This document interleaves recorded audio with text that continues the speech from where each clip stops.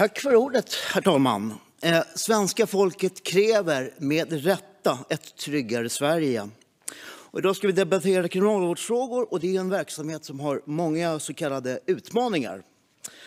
Våra häkten och anstalter har en kraftig överbeläggning. Vi har en kriminalvård som är i stabsläge på grund av den här överbeläggningen. I snitt så ligger överbeläggningen på 110 procent i häkten och 120 procent på anstalterna. Och det är negativt både för de intagna, eller klienter som kriminalvården vill kalla dem, och framförallt personalen, kriminalvårdarna och deras arbetsmiljö. Det finns en tydlig eh, majoritet såväl bland befolkningen och eh, i stort och här i kammaren för att det måste komma till längre och fler straff för att komma till rätta med den mycket allvarliga grova kriminaliteten.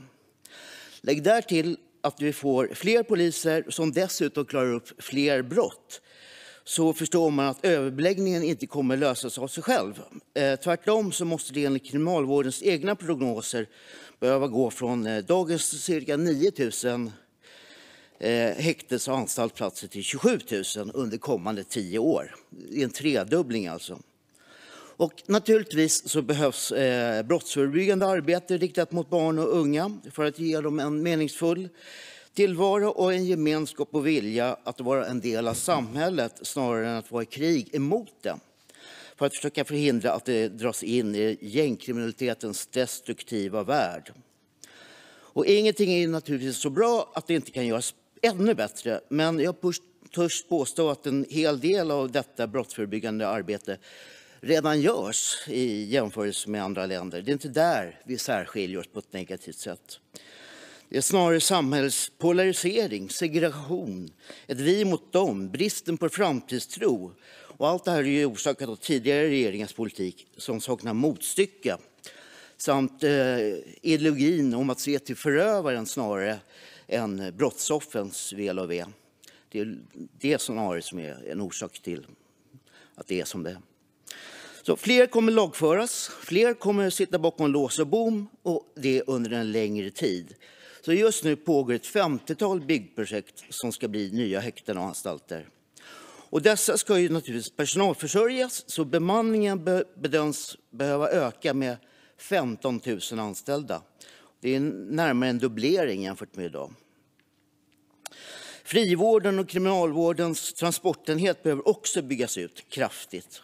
Och sammanlagt kommer det här kosta pengar, mycket pengar.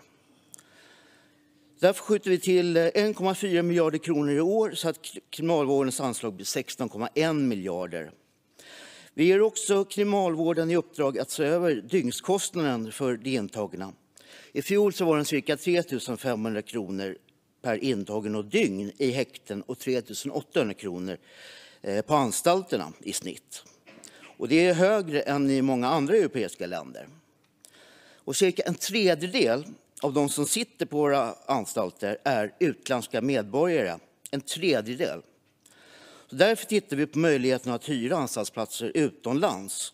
Och det är svårt att se logiken i att eh, en brottsling som till exempel ska eh, efter avtjänat straff utvisas, att han prompt ska sitta i ett svenskt kostsamt fängelse om det går att hitta mer kostnadseffektiva lösningar utomlands. Herr talman. Hmm.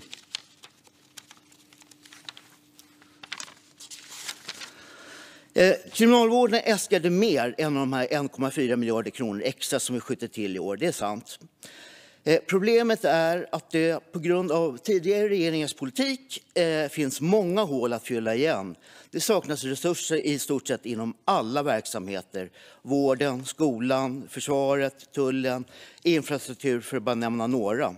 Och lägg därtill en eh, orolig omvärld så eh, ja, vi har en ansträngd ekonomi. Men vi gör ändå bedömningen att det kommer att räcka för att hantera situationen under innevarande år. Och redan nästa år så kommer Kriminalvården tilldelas ett anslag på 19,6 miljarder jämfört med årets 16,1 miljarder. Och 2026 tilldelas ett anslag om 22,6 miljarder. Samtidigt som vi skjuter till medel har som sagt Kriminalvården fått i uppdrag att föreslå minskningar av dygnskostnaderna som på sikt förhoppningsvis kommer att leda fram till en billigare verksamhet. Ekonomin är fortfarande ansträngd, och vi tvingas hela tiden göra prioriteringar. Och vi har i denna budget valt att prioritera välfärden genom ett tillskott på 6 miljarder kronor och vi har valt att eh, prioritera kriminalvården genom den här satsningen.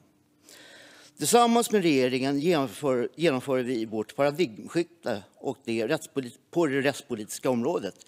Sakta men säkert så gör vi det allt svårare att vara kriminell i Sverige genom fler poliser, säkerhetszoner, trygghetskameror, hemliga preventiva åtgärder och så vidare. Slopad eh, ungdomsrabatt för de över 18 år och så vidare. Tack för ordet.